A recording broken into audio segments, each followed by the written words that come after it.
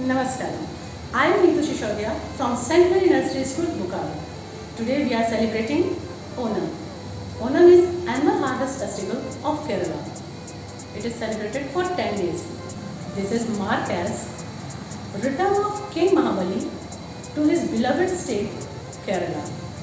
This festival celebrated with full of joy and happiness for their people to welcoming their king.